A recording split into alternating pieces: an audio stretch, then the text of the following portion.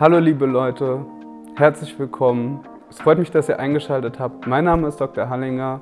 Wir kriegen immer ungemein viele Fragen zu Kotproben, wie die richtig verschickt werden sollen, wie viel Kot muss man sammeln, bei welchen Tierarten ist überhaupt eine Kotprobe sinnvoll, bei welchen nicht und so weiter und so fort.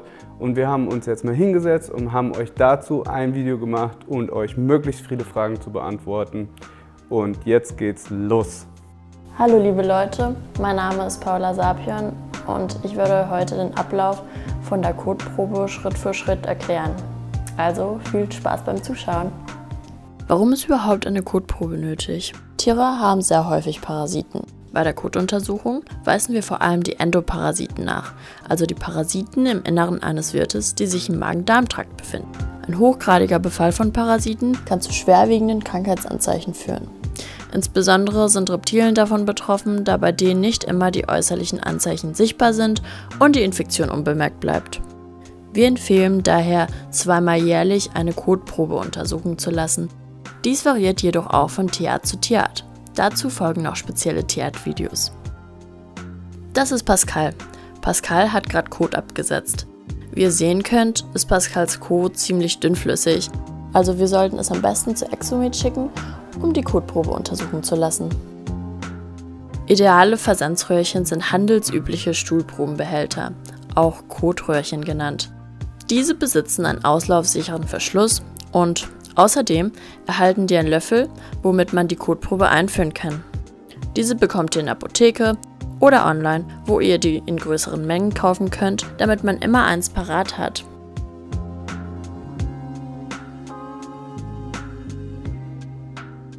Ein zweites Gefäß als Ummantelung stellt die sicherste Verpackungsmethode dar. Bei kleineren Reptilien könnt ihr auch Eppendorf-Röhrchen benutzen. Bitte stellt sicher, dass die Röhrchen richtig geschlossen sind.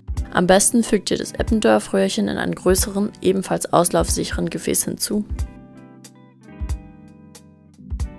Bitte lässt die Kotprobe möglichst frei von Beimengungen wie Bodensubstrat, Einstreu, Zellstoff oder Urat, also der kristalline Anteil des Urins bei Reptilien, da diese die Untersuchung erschweren und sogar verfälschen können. Wenn ihr wie ich Probleme mit einem Sammellöffel habt, könnt ihr ebenfalls eine Pinzette benutzen, aber bitte nicht die Futterpinzette, wir wollen ja eine Reinfektion vermeiden.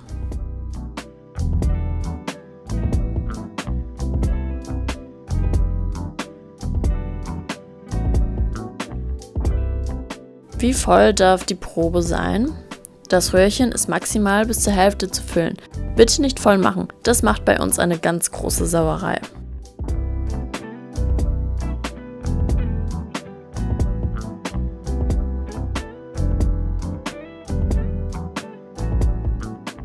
Hier zeigen wir einige Gefäße, die gar nicht geeignet sind. Dazu gerne auf Instagram Best of Code Proben in den Story Highlights anschauen. Es handelt sich um Gefäße, die nicht auslaufdicht sind, die schwer um die Kotprobe zu entnehmen sind oder auch nur aus ungeeignetem Material gemacht sind, wie zum Beispiel Glas, das beim Versand sehr schnell kaputt gehen kann. Auch wenn dies lustig erscheint, erschweren uns die ungeeigneten Gefäße die Arbeit und manchmal ist die Kotprobe gar nicht mehr zu gebrauchen. Die Kotprobe sollte möglichst frisch sein, da viele Parasiten beim Eintrocknen des Kots sterben. Es sollte also nicht älter als drei Tage sein, bevor es versendet wird. Um ein Austrocknen der Probe zu verhindern, empfiehlt es sich, wenige Tropfen Leitungswasser zuzufügen.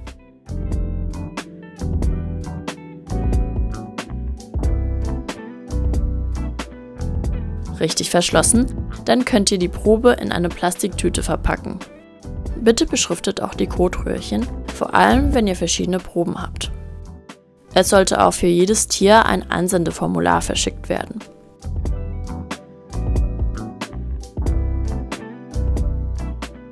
Die Einsendeformulare befinden sich in unserer Homepage, die wir euch in der Videobeschreibung verlinken werden.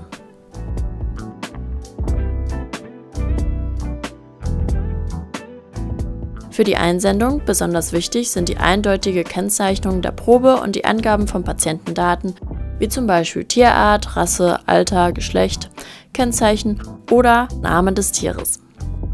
Achtet darauf, dass ihr eure E-Mail richtig und leserlich schreibt, sowie die Telefonnummer. Ansonsten können wir euch nicht kontaktieren, wenn die Befunde fertig sind.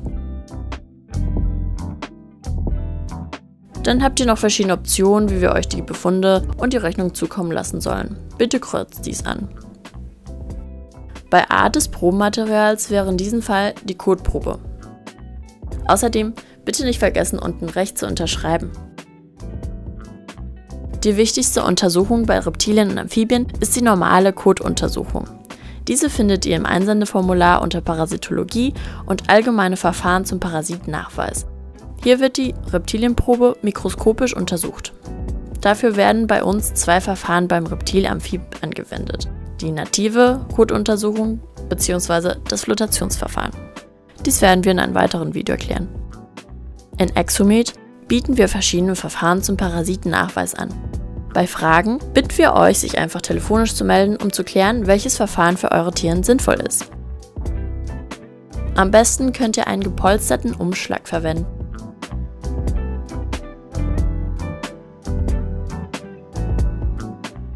Alternativ könnt ihr auch so einen Plastikumschlag oder sogar ein Päckchen verschicken.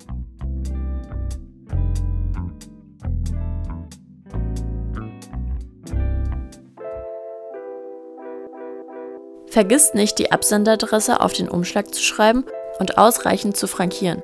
Idealerweise benötigt die Post ca. ein bis zwei Werktage, bis die Kotprobe bei uns im Labor einkommt. Eine Kühlung ist nicht notwendig.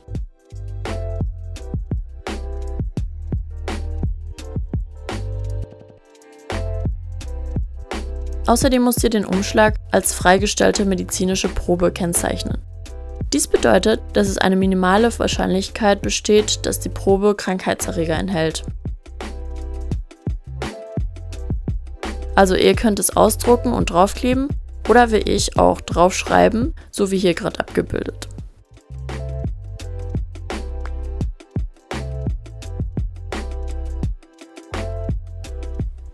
So, und dann sind wir schon am Ende angelangt. Ich hoffe, dass ihr was über Kotproben und deren Versand gelernt habt, dass ihr jetzt wisst, wie das Ganze funktioniert.